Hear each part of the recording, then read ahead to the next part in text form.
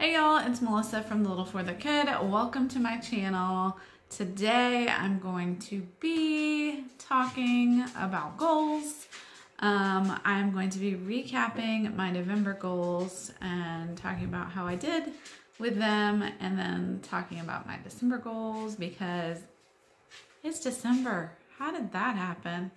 Um, anyway, so if you're a goal setter or maybe you're not a goal setter and you're thinking about being a goal setter um, and you're interested in hearing what I'm doing with my goal setting, then stick around. So first of all, if you are new to my channel, welcome. My name is Melissa. I'm a homeschool mom of three kiddos. And also you may be able to hear Hazel, the house pig in the background.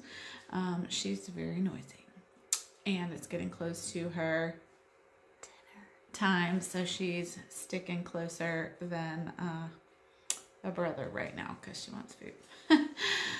they don't call them pigs for nothing. Am I right? Anyway, so most of what you find on my channel is homeschooling content. Um, but I do put some other lifestyle mom kind of stuff on my channel and um, allergy life things, stuff like that. So if you are a mom or maybe a dad, a parent, and are interested in that sort of thing, then definitely hit that subscribe button and stick around. Um, I hope you'll stay a while and we can get to know each other. But um, if you did not catch it, this is sort of um, a video, a follow-up video to a video I did last month. I'll put it up here for you so you can check it out if you haven't. Um, where I did, for the first time ever, I did a goals video. Now, personally, I love watching other people's goals videos, but I had never done one myself because I'm not, I've never really been a goal setter. Not like in the sense of like writing them down and having specific, very specific goals. Um, but my life has gotten kind of crazy and it felt like I wasn't using my time efficiently and I wasn't getting things done that I felt like I needed to get done and my life just sort of felt discombobulated and so I was just watching one of my favorite YouTubers goal videos um, and thought you know what maybe that's what I need to do maybe I need to do a goal video on my channel because if nothing else hopefully that would give me a little accountability um, so that maybe I'm more successful. um, but I also know myself and I wanted to be realistic. I have a lot going on in my life right now, and so I did not want to set goals that were not realistic and then be super disappointed at the end of the month because I like didn't do any of them or something like that. So I was trying to find this balance between um, setting some goals for some things that really feel like needed to be accomplished in my life, but also not trying to reach for the stars and make them, you know, achievable goals. So, just to recap, November, um, I put it in my planner. I used um, four different categories of goals and um, you know, I feel like I did okay. I'm not super disappointed. One, two, three, four, five, six, seven. So I had seven goals, and I definitely gave myself a check mark. Yes, you accomplished this goal in four out of those seven, which I feel good about. Two of those I like gave a check mark and an X because like I feel like I did them, but I didn't do them well enough, if that makes sense. And then one of them was a total fail. Total fail. Total so my spiritual goal was to have a daily quiet time. That is um, one that I put an X and a check mark because I did okay, but I should have done better. Um, my personal goals were to establish a morning routine and stick with it, and to establish a block schedule and stick with it. And I did both of those things. I'm very proud of myself. My homeschool goals were to be more consistent and to spend time outside, and the spending time outside was the total fail. Like my kids spent time outside, which is good. So maybe I halfway achieved that goal, but I certainly didn't. Um, and then consistency, which we've been pretty consistent, especially given everything that we've got going on in life right now, I feel like we were pretty consistent. And also, we were out of town for a week. So, um, but yeah, I feel like we were pretty um, consistent. So that was good. My career goals were to film ahead for my channel, which I have done quite successfully. Um, hopefully, I can keep that up. That definitely makes my life feel less hectic and less pressured. So that was good. And then one more where I put a check and an X was my daily mentor calls, which is a something that I'm doing with my doTERRA business. And um, as you can see, there are 50 of them. And um, I made it through. I actually haven't marked this one, but I did do call number 25 too. So I made it halfway through. And when I sat back and I looked at this and I was feeling a little disappointed about not achieving this goal, and then I really thought about it and I thought, man, that was really too lofty of a goal because, you know, there's 30 days, give or take, in a month. And I was asking myself to listen to 50 calls in 30 days, and that's a lot. Um, I don't think that was realistic. So I'm pretty happy with the fact that even though I didn't finish them, I did get halfway through them.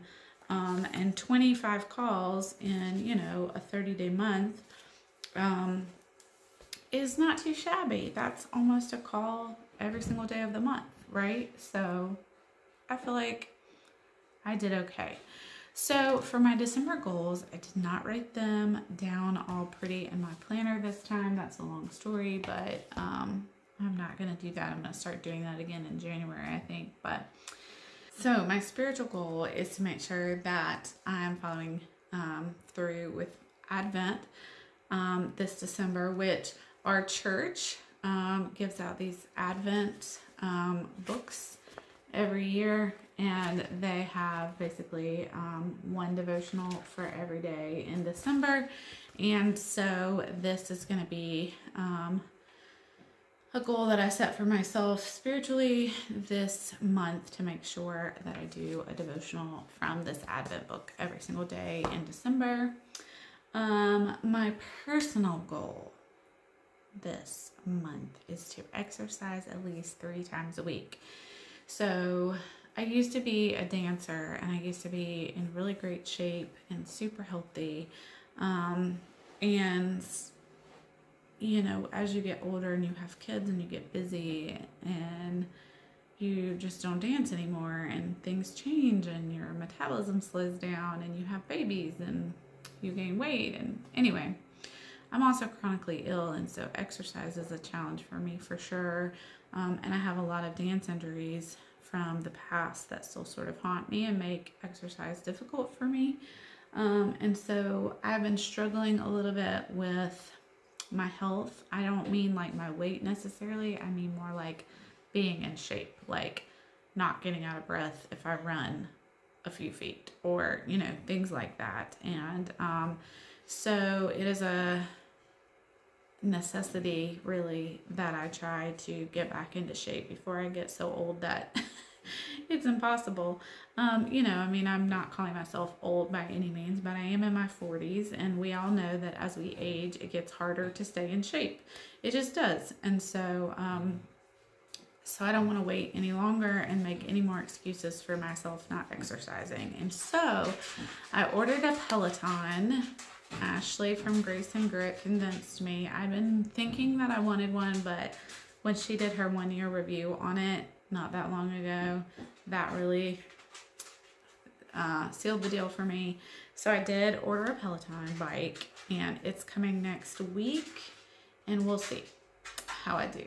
But again, I'm saying three times a week and not every day because I just don't want to be unrealistic and be disappointed because I couldn't keep, you know, because I couldn't achieve my goals because I just made them too lofty. So I want to be realistic. Eventually, maybe we can push it up to four or five or even seven days a week. But right now, I feel like three times a week is a realistic place to start for me. So Hazel just growled her approval. I feel sure it was approval. Um, so my homeschool goal is staying the same. I want to be consistent. I feel like it's especially difficult this time of year. The holidays make you want to not school. At least it makes us want to not school. Like we want to do all the fun things um, and be lazy a lot of times. And um, uh, especially because we take a fairly long break from co-op for the holidays. And I feel like when we don't have to go to co-op, like it changes our attitude a little bit about school. Like it's not quite as important this week to do school because we don't have co-op. I don't know. Does anybody else struggle with that? Um, we tend to be a little lazier on weeks we don't have co-op. And so next week is our last week of co-op until the end of January. So we, like I said, we have quite a long break from our co-op and um, I want to really keep pushing with the consistency um, especially during this time when we're not having co-op and we're having holidays and holiday parties and things like that to make sure that we don't get lax. We have taken probably more holidays from school this fall than we normally do. And so, although I don't feel like we're behind necessarily in school, we definitely don't have a lot of wiggle room to take a lot of breaks right now. Um, so, that being said, that is my homeschool goal for the month of December. I really want to be consistent and push through the holidays. Um, and I'm going to do another video, I think, that'll go up soon about how, how we homeschool through the holidays and if it looks different for us and how it looks different for us. So, oh, sorry, I just kicked Hazel. It was an accident. Um, and so, anyway, we're going to talk about that a little bit in another video. If you're interested in that, watch for that. That's coming soon. But that being said, we do want to not get lazy in this holiday season when it comes to school because school is important and I find that when we take a break it's especially if we take a long break it's harder to get back in the swing of things. So consistency in homeschool. And then for my career goals um, I am definitely going to finish my 50 daily calls um, in the month of December. I feel very strongly that I can do that and manage that. One of the reasons I want to make sure that I'm finished with those um, at the end of December is because I'm planning um, a big business launch week in January.